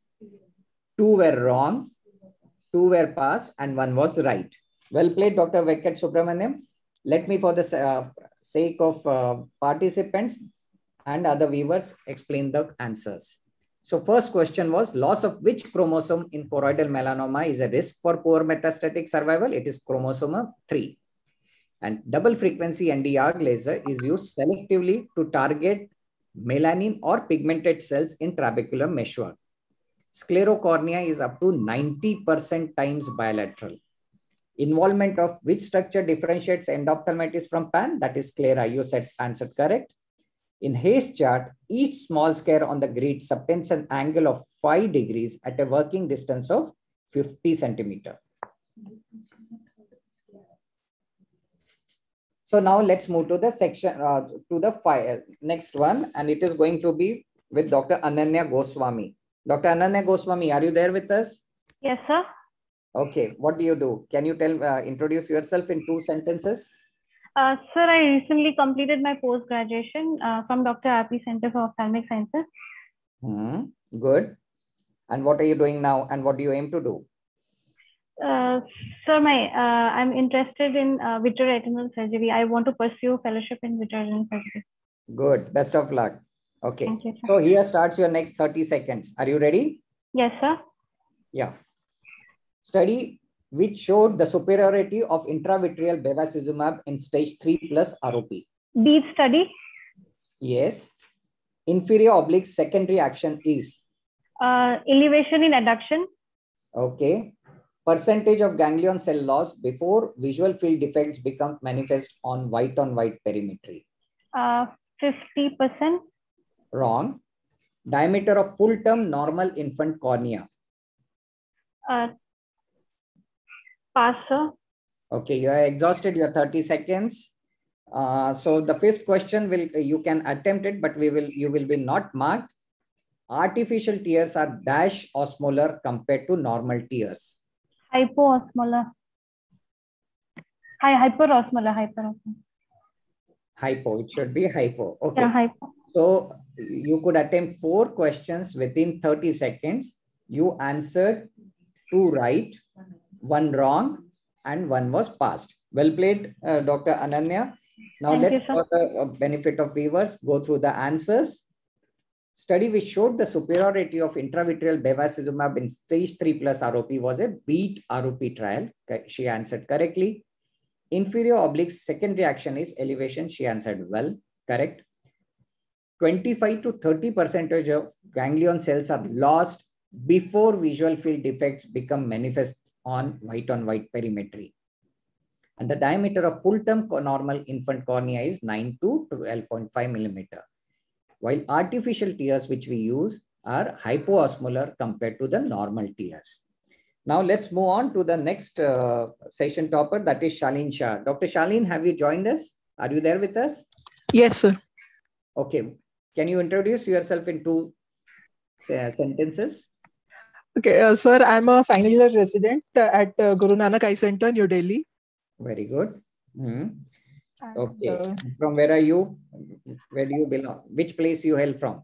Delhi itself? I, no, sir, I hail from Gujarat, Vadodara. Okay, Shalin, good. Congratulations, and we are proud to have you with us, playing with even seasoned of practitioners. Very good. Keep it up. So here starts your next 30 seconds. Are you ready? Yes, sir. Okay. Ganglion cell layer is dash layer thick at foveola. Zero. Correct.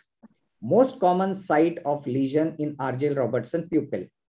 Uh, tectum of the midbrain. Wrong. Yeah. Okay, we take it. Percentage of EDTA used to treat band-shaped keratopathy. Pass. Okay.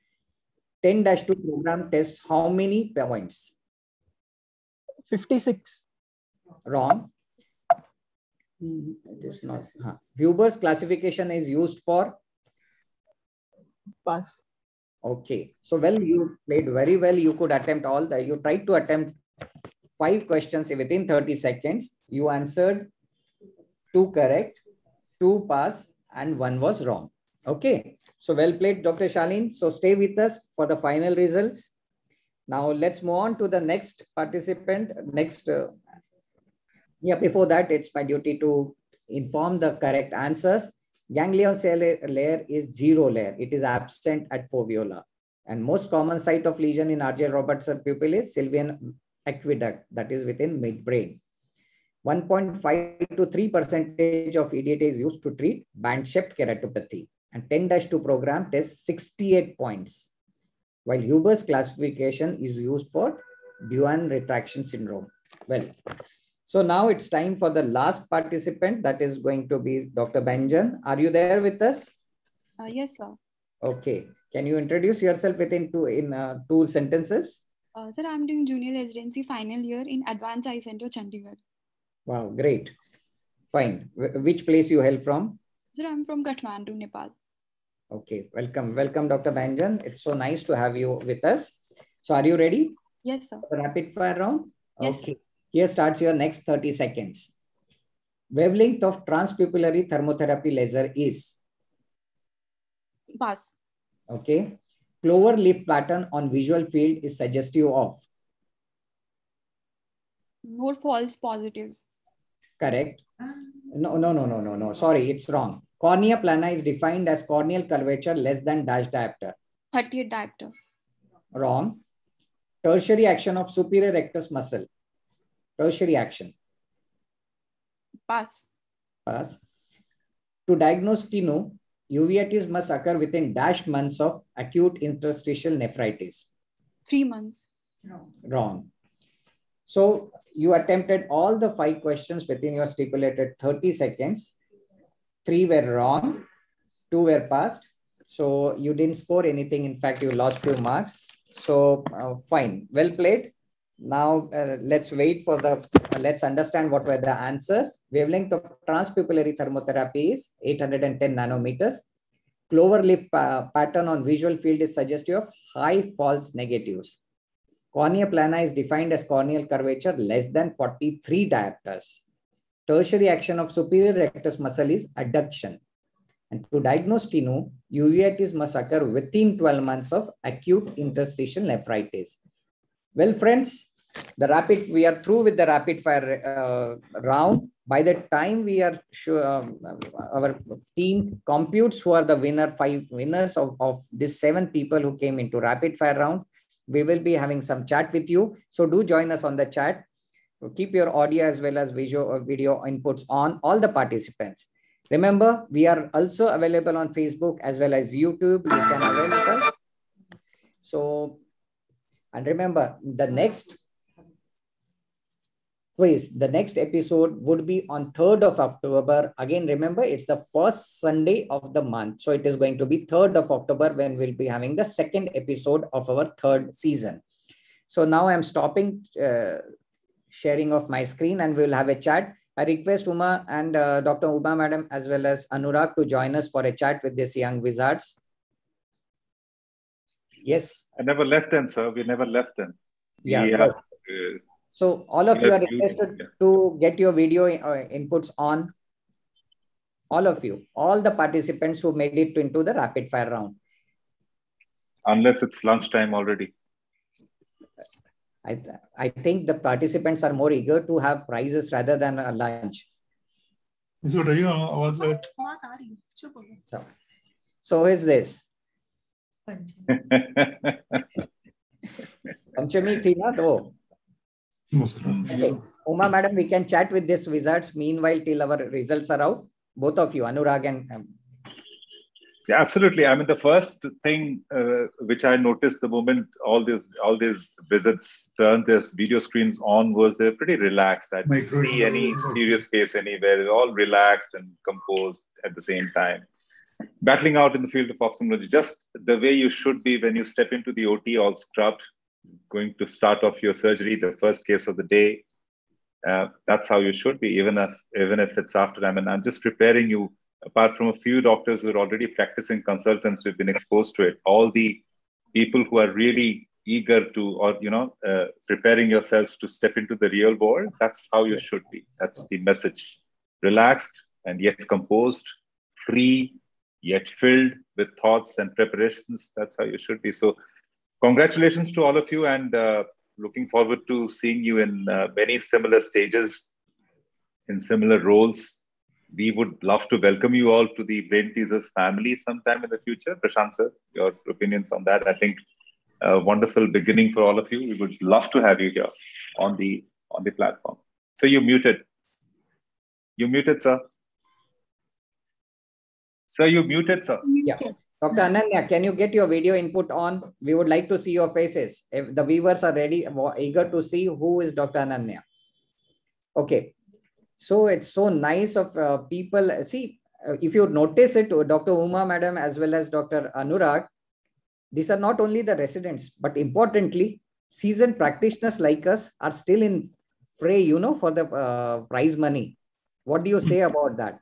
See, the students are expected to know everything and anything because they have to write their exams and pass. What, what about the seasoned practitioners? Yes, we have from Bangalore, Dr. Uh, Shetty, who attempted so well, who was a section um, two winner. I think the victory virus, the victory virus is there. So whether you are a consultant or a student, I think that victory virus is something that we all want to have. That's one virus we want to have. Okay. Nee, nee. If Shetty, sir, you didn't get the questions from Uma madam, being close to Karnataka, Mangalore, and Bangalore. So I think Udupi is from. so I, I don't know him. Okay, just pulling. So, so uh, Ro- uh, Panchami, आप क्या करना चाहती हो आगे? Sir, I am into a permanent government job. So right now I am planning to continue this and maybe later, sometime later, start my own private practice. It's something you you thinking about already, or it's something that's in the pipeline, or it's something you just uh, no, no, answered no. because you were put a question across. so just answered. I've not really thought about it right now. Then think. Then think. That's where. There are actually too much competition in private practice in Delhi. So oh, forget about that. This there's competition everywhere. There's competition for oxygen as well. That doesn't stop us from living. That Yeah. doesn't stop us from breathing. No, So but it is a don't good think thought. about She's continuing. Uh, sh- see, my wife is a nephrologist, but she decided to cater to the poor and needy. Unlike uh, we who were only Raj Vaidyas, rather Anurag. Or same way, look at Uma madam. She has done a noble job of teaching. So I think uh, Dr. Uh, uh, Panchami has every right to do that, and it's good people like this with so much of knowledge come into the government field and do serve and teach students. It's really we are proud of you, Dr. Panchami. thank you, sir. I was just saying that if you have plans, then think about it while age is on your side. Correct. That's, Okay. that's the only thing. Thank you, sir. I'll think about it. Dr. Nikita. Uma Yes, ma'am, some questions for this lovely young wizard. Yeah, what are your plans? And how did you feel about the quiz? While answering the quiz, when you had the questions in front of you, you knew the answers, suddenly you can't remember. Time is just ticking off. What was your experience of being a participant of a quiz?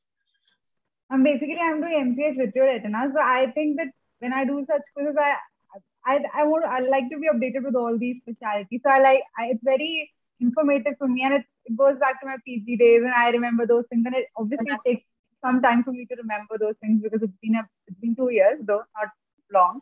But yes, I really enjoyed the quiz. Oh, that's nice. I get got questions from all uh, branches of plastic, uh, cataract, everything besides that. Okay, and what are your plans for future? Or your settlement? Um, I'm, I haven't uh, thought very far, but uh, after completing my MCH uh, uh, I'll be going back to Delhi. I'm from Delhi basically, and then looking for a job. So you're going to give a competition to Panchmi. Ma'am, she's my younger sister. I'm your sister. I was about to ask that. I was about to ask Oh that. my God. That's a coup here. Both sisters. uh, So the next brain teasers will have a question. Mutation in which gene allows two sisters to win two rounds in the same quiz in the same season? Yeah, great. That's amazing. That's amazing. That's amazing. I mean, I must clap for you guys. Yeah. That's amazing. So the academia flows in the family, it seems. No, we great. are only two doctors in our family. Oh. Good, but you are well inspired. I think well, uh, this Panchami appears to be senior to you, correct? Yes, sir. Yes, sir. So she's in She Chandigarh right now. I'm in Delhi. Yeah, you inspired her into ophthalmology. That's a great thing. She Good, did. good. Keep it up. Keep inspiring more people around you. Panchami, we expect same thing even from Nikita uh, about ophthalmology. Thank you, thank you Dr. sir. Shalin, hello, Yes, Dr. sir. Shalin. Yes, क्या sir. कहते हो भाई गुजरात क्या कह रहा है sir Gujarat ठीक है अभी मस्त है मोदी जी के एरिया के आदमी हो यार थोड़ा डर के बात कर रहे हैं अनुराग के मुँह से बात नहीं निकल रही है Anurag, something for this guy. Yeah, I think uh, there are two extremely influential leaders in the Indian political scenario uh, right now. One hails from your state and the other hails from mine. So yes. that's one commonality. Uh, and so the third one, says, the third one chases surname with the limelight. Huh? Anurag, that's not fair. Let that guy enjoy the limelight. absolutely, absolutely. Uh, so yeah, I mean, I love your smile, Charlene. I love your smile. I've fallen in love with it actually. So that's that's very electric. So, what, you excited to have participated in the quiz, or there's some other reason? What's cooking for Sunday's lunch? Is that uh, something that's exciting you? What's what's the story? Sir, it's the quiz. Uh, I mean, I have been a, a quizzer in my UG life, and this is the first quiz I'm appearing in my PG life. So I'm excited to be back to quizzing this. great, Brilliant. great. So, what do you do? I mean, apart from quizzing. So I'm a final year resident, uh, and uh, so he has to study Anurag yeah, I study. Uh, he was winner in uh, previous uh, season also for few episodes. correct Shalin Uh, one episode, uh, I was a section winner. Yes. Yes, It is very good, good- Shalin. Good, good. Keep it up. We will like to see your face on and off on our uh, uh, screens again. Now, now coming to Dr. Shetty. Dr. Sadanand Shetty, you said you are a practitioner. Yes, sir. I'm a glaucoma consultant in NN Bangalore. Sir. Yes. So NN is a I'm doing my yes, sir. NN is a place which churns out uh, research papers like a, a factory, I believe. How many papers? Yeah, papers? it's a Shaolin temple of ophthalmologists now. Yeah, yeah, yeah. So how many papers do you have to your credit? No, sir. In uh, in the pipeline, few papers are in the pipeline. Great. Yes. Uma madam, you can ask him something in Kannada. Enchi Ullara, I'll ask. Better level. Great. Give us a conversion. Ma'am, yes. It was the Tulu language. also.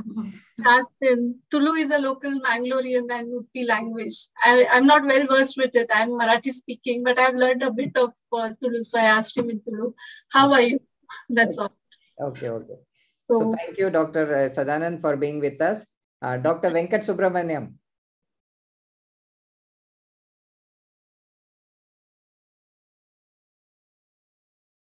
Not able to hear you, sir. No, he, he's frozen for a moment. Actually, he's just sir's Yeah, connectivity is little on the slower side. Yes, sir. I think it's back. Okay, Dr. Venkat Subramaniam, you are in Bangalore, correct? You are into practice. yes, very much. Yeah, yeah, Just yeah. Tell me, there were, if I see the number of people who are participating, very few of them are into active practice. What keeps you uh, going and uh, studying and co- trying to compete with these PGI guys and whatnot, AIIMS guys? You are competing and rubbing shoulders with them. When do you study out of your practice? It was, uh, I was a quiz master for our BOS quiz last time. Okay. Good. And uh, in a way, the brain teasers have been an inspiration uh, because I've been following up uh, with your uh, quizzes, and Kumar uh, is there. So, you know, I have worked with Kumar earlier at NN. I was a retina surgeon at NN earlier, Okay. uh, the way back 2002, 2004. Uh, started my practice, and uh, it's a completely uh, solo practice, but I do have uh, subordinates working with me and I love teaching. And I think uh, being a part of the quiz is just enjoying and learning more because unless you learn, you can't teach. Okay, great. Thank you. Thank you, Venkat Subramaniam. In fact, you are an inspiration to me because I hardly study. As, and I always have an excuse that I'm too busy in my practice. You are indeed. Yeah, this is I know this that. is Everyone knows this that. is actually a kind of an inspiration which you receive and uh, that stays with you for two minutes. The moment the computer is shut off, then you're back to business and you're back to. So, did I hear correctly that you are in practice since 2004? Yes, very much. So, you you passed out your post graduation in which year, sir? Uh, I finished my post graduation in 2000. Certificates ready hai apne? So, apart from how you study and how you um, do your practice at the same time, how do you manage to look the way you are? You you're looking like uh, somebody who is hardly into practice, maybe for a couple of years at the most. I would put my money on a couple of years. You don't look like somebody who's in practice for 20 years now. Uh, uh, thanks uh, for the compliment. But, uh, you know, uh, being in touch with all the PGs and everyone, I think that just makes you uh, want to be in your PG days always. I think that's, uh, that really uh, is uh, always inspiring. And yes, uh, you know, lovely. So, how you stay young is what's the young, is what you're trying to say Yeah, here. very true. Okay.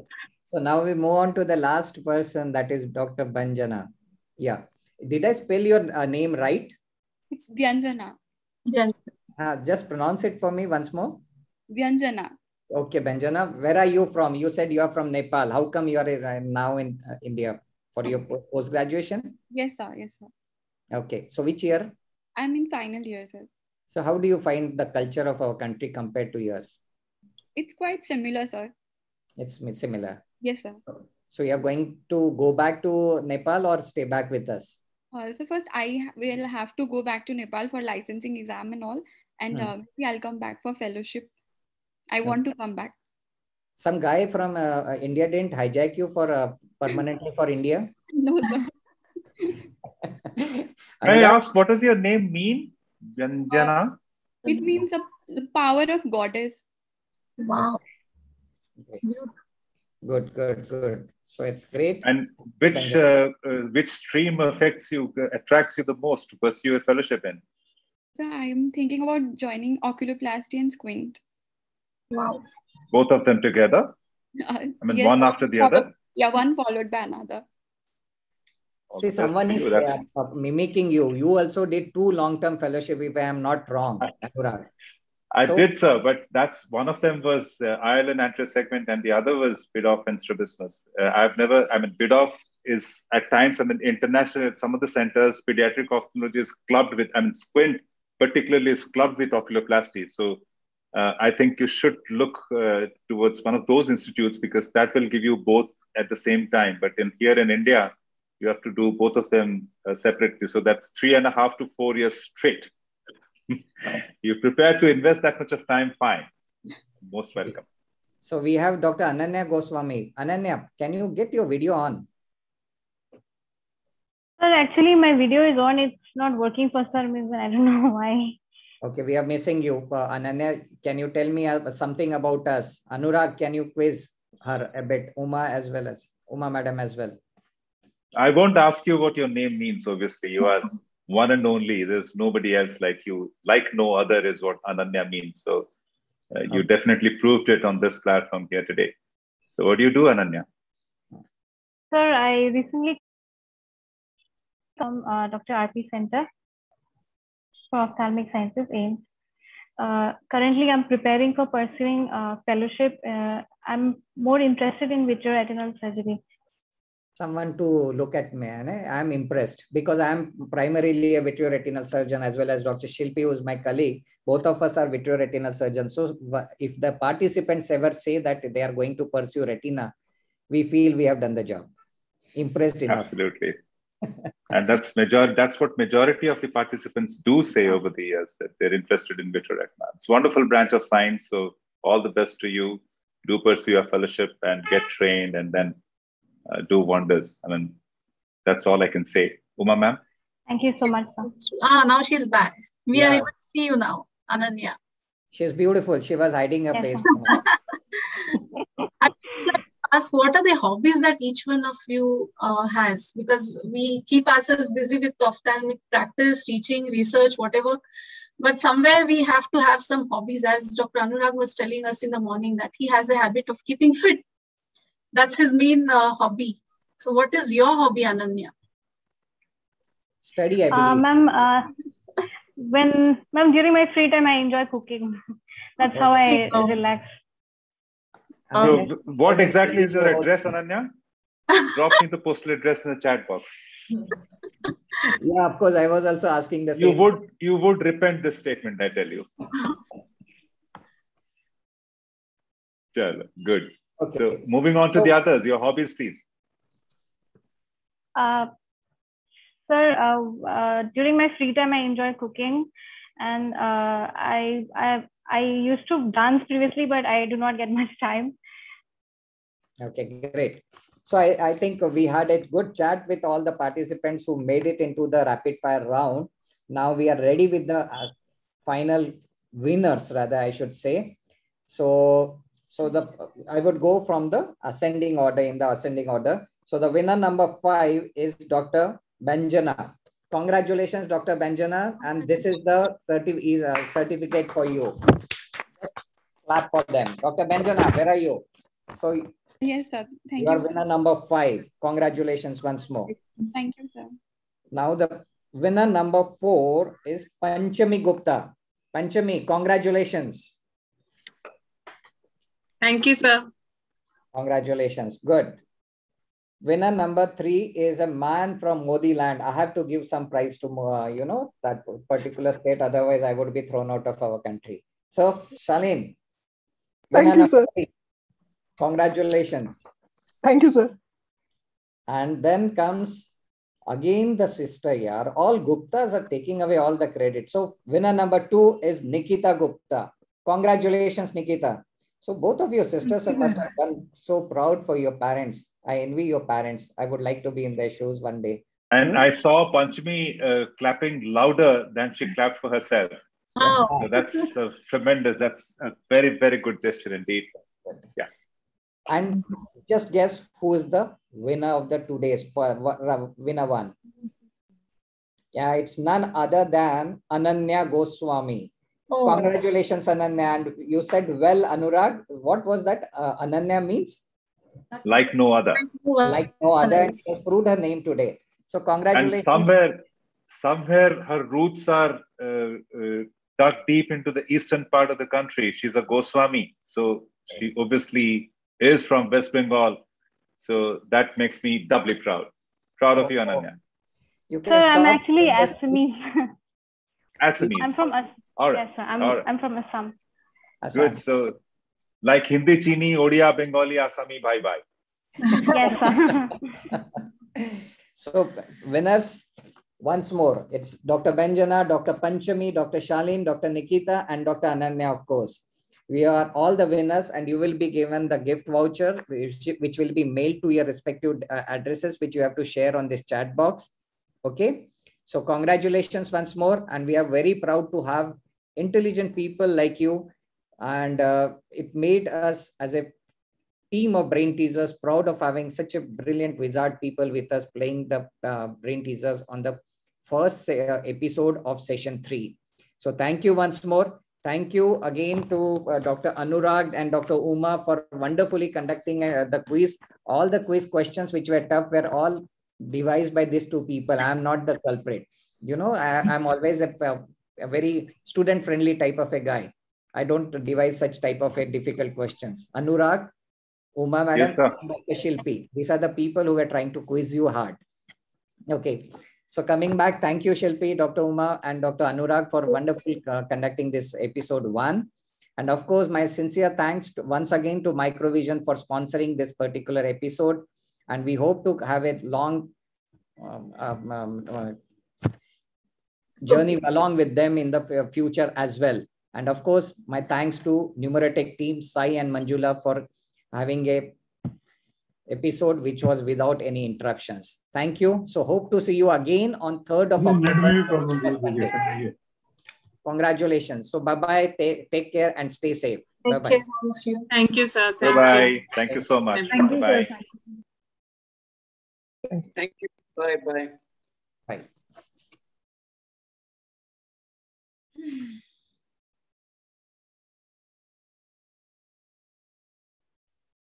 Thank you, Prashant sir. Are, thank you. Thanks a lot.